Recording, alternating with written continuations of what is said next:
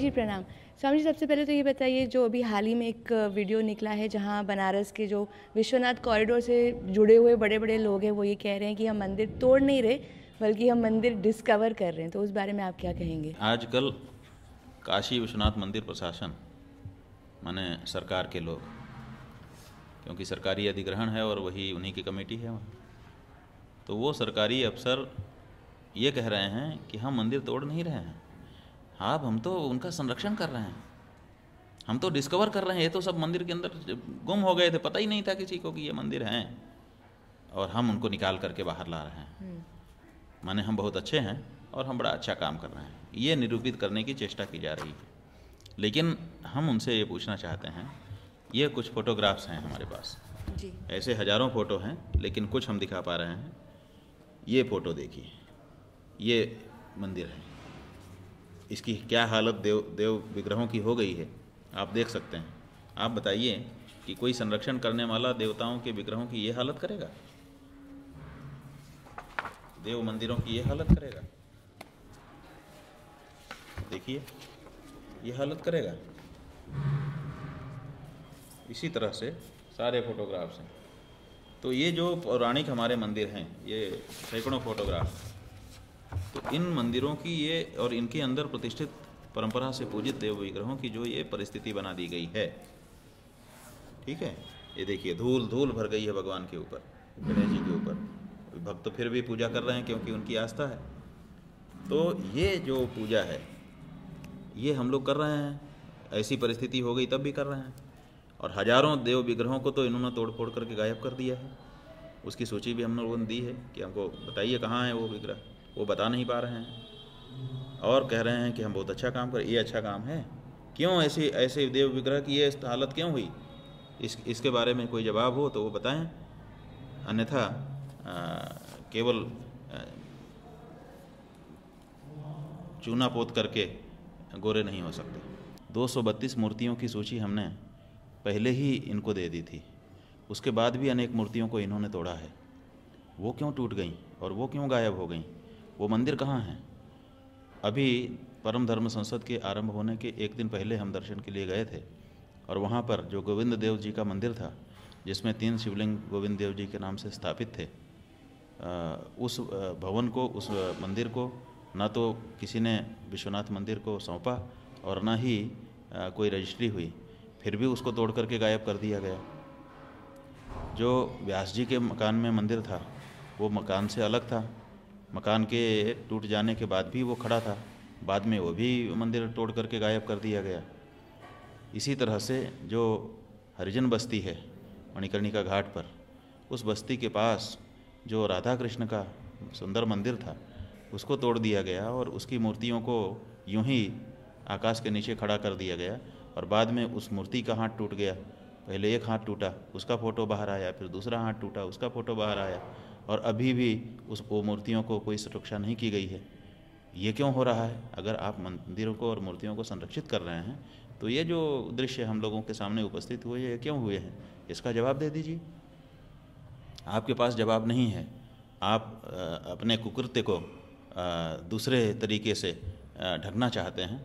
ये ढक नहीं सकता है, क्योंकि अगर मंदिरों को और मूर्तियों को सुरक्षित किया जाना है तो आए दिन आप मंदिरों को तोड़फोड़ क्यों कर रहे हैं?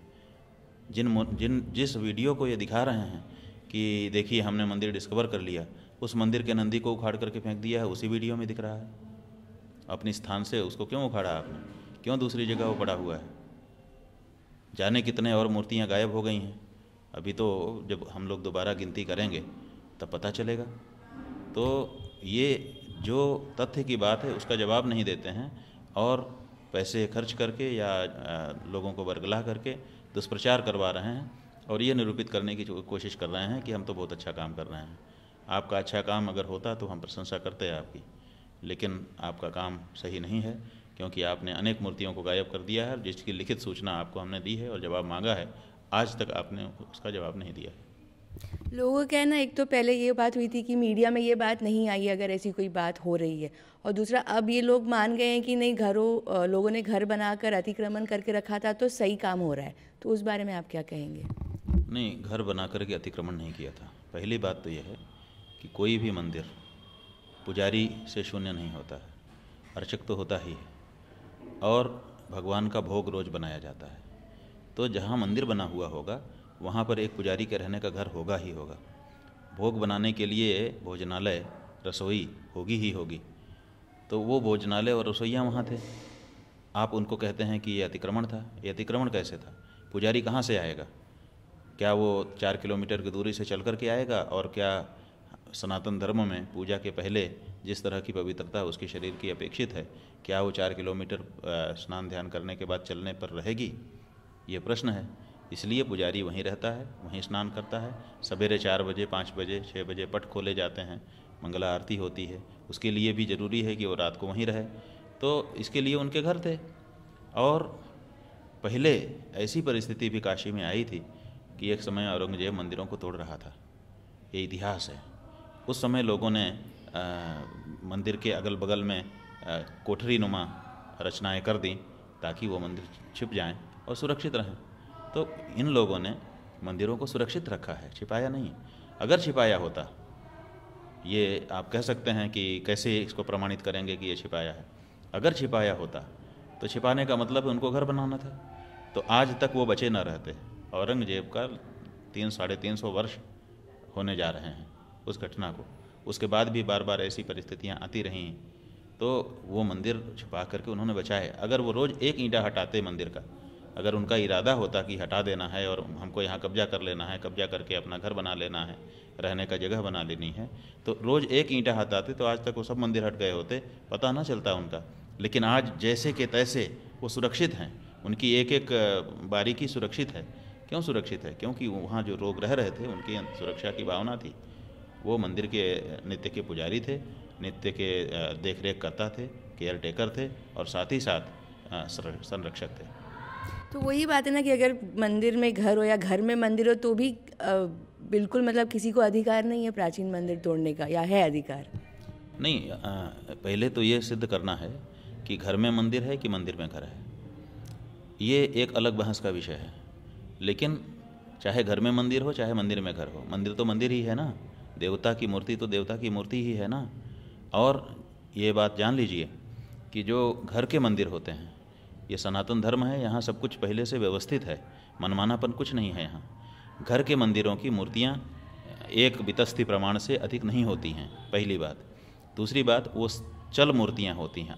अचल मूर्ति नहीं होती है क्योंकि घरों में आ, कभी घर बदलने का मौका भी आ जाता है तो लेकर के व्यक्ति चले जाते हैं अपने देवता को। सबसे पहले जहाँ गृह प्रवेश करते हैं वहाँ अपने घर के देवता को लेकर के प्रवेश करते हैं। तो मंदिर जब होगा तो वहाँ अचल प्रतिष्ठा होगी फिक्स मूर्तियाँ होंगी पीठ पर और बड़ी मूर्तियाँ होंगी। पत्थर की मूर्तियाँ बड़ी होंगी और जहाँ घर का मंदिर होगा, वहाँ अचल प्रतिष्ठा होगी और छोटी मूर्तियाँ होंगी। तो आप बताइए कि ये जो मूर्तियाँ और नंदी और शिवलिंग और दूसरे मूर्तियाँ दिखाई दे रही हैं, ये तो बड़ी हैं और ये अपनी जगह पर स्थिर फिक्स की गई गई हैं। तो जो फिक्स मूर्ति है, उसको आप कैसे घर की मूर्ति कह सकते हो? आधार क्या है? आपके कह देने मात्र से नहीं होगा। हमारे यहाँ तो शास्त्र है ना, शास्त्र की विधि से सब काम होता है। सदा से होता चला आया है, आज भी लोग उसी अनुसार कर रहे हैं। थोड़ा बहुत दो चार प्रतिशत का इधर उधर किसी के व्यवहार में व्यत्यय हो जाए तो अलग बात है, लेकिन मूल तो वही बात है। तो जो प्रतिष्ठित मूर्तियाँ हैं, प्राण प्रतिष्ठित और जो वहाँ पर स्थिर हैं, अचल जिसको कहते हैं, अचल प्रतिष्ठा जिनकी हो गई है, वो तो मंदिर ही है। वो घर के मंदिर नहीं हो सकते हैं। घर के मंदिर में अचल प्रतिष्ठा नहीं होती है, अचल प्रतिष्ठा होती है। अच्छा दूसरा ये कि जो बहुत बढ़ चढ़ के बाबा विश्वनाथ में विश्वास रखते हैं, उनको काशी का इतिहास नहीं पता कि बाबा यहाँ क्यों बसे थे, क्योंकि सारे देवी देवता पहले आकर बसे थे। तो अगर आप सारे देवी देवताओं को हटा देंगे तो फिर बाबा कहाँ रहेंगे? ऐसा है कि काशी खंड है स्कंद पुराण का। उसमें काशी का वर्णन है, काशी खंड ही उसका नाम है। उस काशी खंड में बताया गया है कि जब देवता, जब यहाँ भगवान शिव थे और दूसरे देवता थे तो दीवोदास नाम के राजा को ब्रह्मा जी ने कहा कि तुम यहाँ की व्यवस्था करो। दीवोदास ने कहा कि मैं व्यवस्था तो ब्रह्मा जी कर दूँ आपके आदेश से, लेकिन ये देवतागण यहाँ पर हैं और इनका मैं सम्मान करता हूँ। तो सम्मान करने के कारण इनकी किसी आदेश को मैं अस्वीकार नहीं कर पाऊँगा। और राज्य व्यवस्था का नियम यह है कि जब तक जो ऊपर का व्यक्ति बैठा है राजा, वो जो कहे वो हो जाए, तब तो वो व्यवस्था कर सकता है। अगर वो उसके सामने बहुत से आदरणीय लोग हों तो वो किसी पर आदेश नहीं कर पाएगा। तो वो सुव्यवस्था भी नहीं कर पाएगा। तो इस दृष्टि से मुझे क्षमा करिए, मैं व्यवस्था करने में असक्षम हूँ। आपकी आज्ञा पालन करने में असक्षम हूँ। तो ब्रह्मा जी ने कहा कि नहीं, तुम्हें को करना है। तो उसने कहा तो फिर कृपा करिए कि देवताओं को दूसरी जगह ले जाइए। यहाँ पर हम व्यवस्था कर, तब करने के लिए तैयार हैं। तो ब्रह्मा जी के आदेश से सब देवता इधर उधर चले गए, लेकिन शिव जी वो यहाँ पर विराजमान थे। अब ब्रह्मा जी शिव जी को कैसे आदेश करें? तो उन्होंने आदेश कर सकते नहीं थे, इसलिए उनको तरीके से यहाँ से दूर भेजना स्वीकारा। और उन्होंने कहा कि मंदराचल पर्वत को तैयार किया कि तुम अपने यहाँ एक बहुत बड़ा उत्सव करो, जिसमें शिव जी को आमंत्रित करो।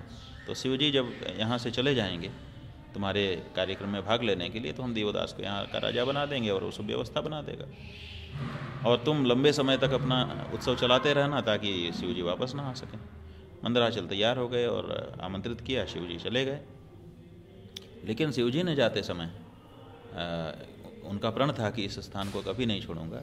तो एक अभिमुक्तेश्वर शिवलिंग की स्थापना कर गए यहाँ पर। जो आज भी जो विश्वनाथ मंदिर है उसके आग्नेय कोण में विराजमान है। तो वो विश्व का सर्वप्रथम शिवलिंग था काशीखंड में लिखा हुआ है। तो उन्होंने एक अपना प्रतीक यहाँ पर रख दिया कि मैं हूँ और फिर चले गए। जैसे कोई व्यक्ति अपना सामान कहीं पर छोड़ देता है और ये माना जाता है कि ये है। जैसे कोई सीट पर से उठ करके थोड़ी देर के लिए कहीं जाता है तो अपना रुमाल भी रख देता है, अपना मफलर भी रख देता है, अपना बैग भी रख देता है तो माना जाता है कि कोई यहाँ बैठा है, वो स्थान उसका आरक्षित रहता है। तो भगवान शिव यहाँ से मंदराचल के यहाँ गए तो ज़रूर, लेकिन अपना पिंड छोड़ करके, शिवलिंग छोड़ करके, चिन्ह, लिंग माने चिन्ह। और फिर वो वहाँ पर रहे। वहाँ पर जैसे कि ब्रह्मा जी की योजना थी मंदराचल ने लंबा उत्सव कर दिया उनको आ, आने नहीं दिया आग्रह करके रोकता रहा। इधर दीवोदास ने सुव्यवस्था बना दी लेकिन भगवान शिव के मन में था कि हम काशी जाएँ। लेकिन काशी आने का कोई अवसर नहीं मिल रहा था तो उन्होंने वहाँ से लोगों को भेजा कि जाओ काशी में हमारे आने का वातावरण बनाओ। तो वहाँ छप्पन विनायक आए चौबीस विष्णु आए चौंसठ योगिनियाँ आईं और अनेक भगवान के रूप आए काल भैरव आदि और सबने मिल करके यहाँ पर एक ऐसा वातावरण बनाया जिसमें शिव जी के आना सक्षम हुआ। दीवोदास का राज्य पूरा हो गया, दीवोदास हट गया और शिव जी आ सके। तो ये जो देवा, देवी देवता यहाँ पर हैं, चाहे वो छप्पन विनायक हों, चाहे द्वादश आदित्य हों, चाहे चौबीस विष्णु हों, चाहे चौंसठ योगिनियाँ हों, चाहे नव दुर्गा हों, दस महाविद्या हों, जो भी हैं काशी में, ये सब भगवान शिव आए काशी में, इसके लिए पहले से आकर के बैठे हैं। विश्वनाथ जी से भी पुराने हैं ये काशी में। इस दृष्टि से देखा जाए तो। और वो विश्वनाथ के आगमन का मार्ग प्रशस्त कर रहे हैं। और आप उन्हीं को विश्वनाथ के लिए हटा रहे हो। जिन्होंने विश्वनाथ को यहाँ से, यहाँ लाया, मदद की, उनकी मार्ग प्रशस्त किया, आप उनको हटा रहे हो। ये कैसे? और क्यों? क्या विश्वनाथ इसको स्वीकार करेंगे? नहीं, जैसे काशी में ही है सिर्फ़ छप्पन विनायक स्थित थे यहाँ पर। अब तो त्रेपन है, क्योंकि तीन तो आपको पता है, आपने बताया हमको कि बिल्कुल टूट चुके हैं। तो वही बात है ना कि इस तरह से काशी के इतिहास से, काशी की धार्मिकता से, काशी के पौराणिक स्वरूप से, काशी के हेरिटेज से और काशी के मूल स्वरूप से छेड़छाड़ की जा रही है और निरंतर धड़ल्ले से की जा रही है और लोगों को बरगलाया जा रहा है अलग तरीके से, कहानी अलग बनाई जा रही है। तो हम ये कहते हैं कि आप अभी कैमरा लेकर के जाइए और आप कहिए कि हमको एक बार घुमा दीजिए कि आप कैसे संरक्षण कर रहे हैं। आपको मना कर देंगे। पुलिस लगी हुई है, कोई अंदर जा नहीं सकता। अगर आप अच्छा अच्छा ही कर रहे हैं तो आप खोलिए ना दरवाजे, जो भी आए वो देख सके। हम लोग लिस्ट मिला करके उस जगह पे जाके खड़े हों कि भाई यहाँ ये मंदिर था, कहाँ है? आप हमको अलाउ करिए और एक एक चीज़ का वहीं पे ऑन स्पॉट ऑन कैमरा आप जवाब दीजिए। हम अपना प्रमाण प्रस्तुत करेंगे, आप अपना प्रमाण प्रस्तुत करिए। तब शायद इसके लिए तैयार नहीं होंगे। तो अपने मुँह मियाँ मुट्ठू मत बनिए। आप जो अनर्थ कर रहे हैं काशी में, वो लोगों के द्वारा देखा जा रहा है और उसका परिणाम आपको भोगना पड़ेगा। एक और सवाल कि जब विश्वनाथ कॉरिडोर बोल रहे हैं कि यू नो बाबा को गंगा जी और गंगा जी को बाबा के दर्शन होने चाहिए, वो मतलब उसका क्या तथ्य अगर गंगा जी को बाबा जी और बाबा जी को गंगा जी का दर्शन करने की इच्छा होती तो बाबा उतनी दूर क्यों बैठते? बाबा गंगा जी के किनारे पास नहीं आ चले चले जाते। क्यों दूर बैठे? क्या मंशा है उनकी? आप भगवान की मंशा से विपरीत काम करना चाहेंगे?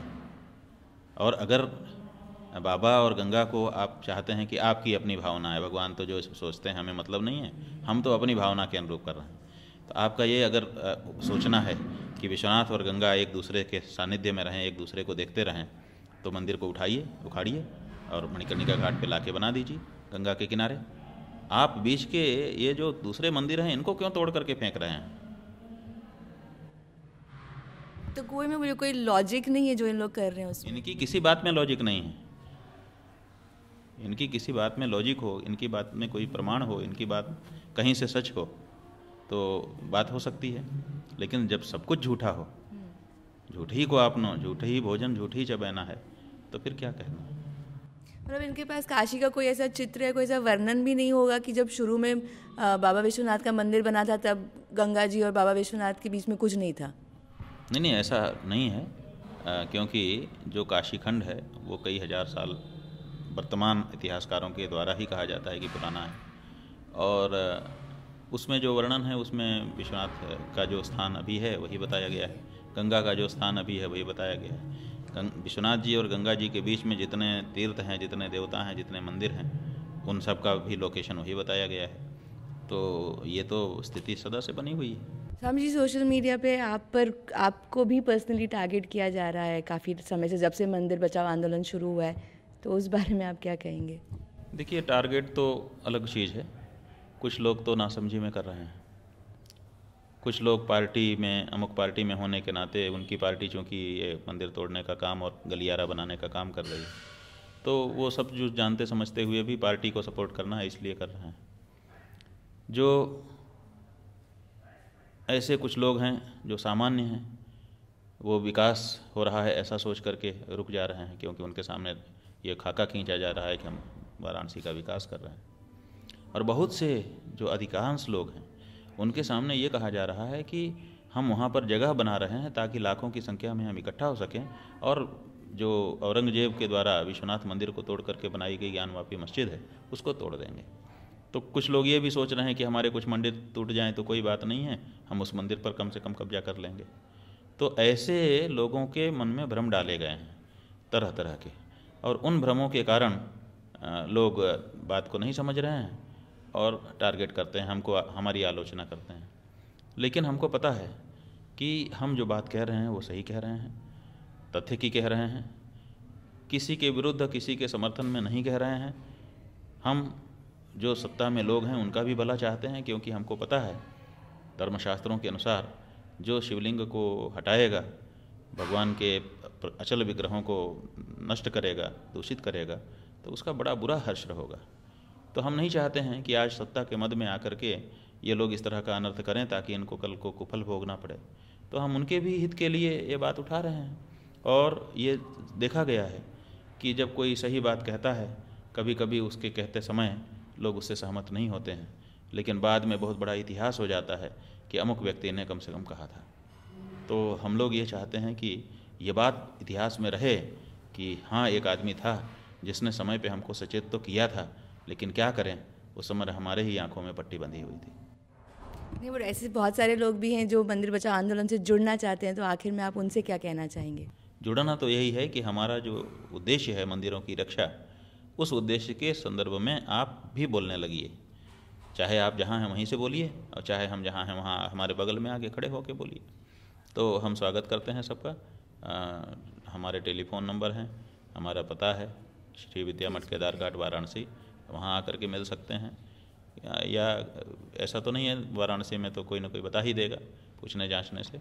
आइए मिलिए और नहीं आ, आ पा रहे हैं नहीं मिल पा रहे हैं तो जहाँ हैं वहीं से थोड़ी सी आवाज़ जितने लोगों के बीच में आप हैं उतने ही लोगों के बीच में ये बात कहिए कि भाई ये नहीं होना चाहिए। क्योंकि जब अनर्थ होता रहता है अत्याचार अनाचार होता रहता है तो जो अनाचार अत्याचार करता है, उसको तो दोष लगता ही है।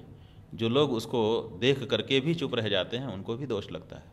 इसलिए इस समय अपना विरोध दर्ज करा देना ज़रूरी है, ताकि हम अनाचार, अत्याचार के साथ ही ना माने जाएँ। धन्यवाद स्वामी जी।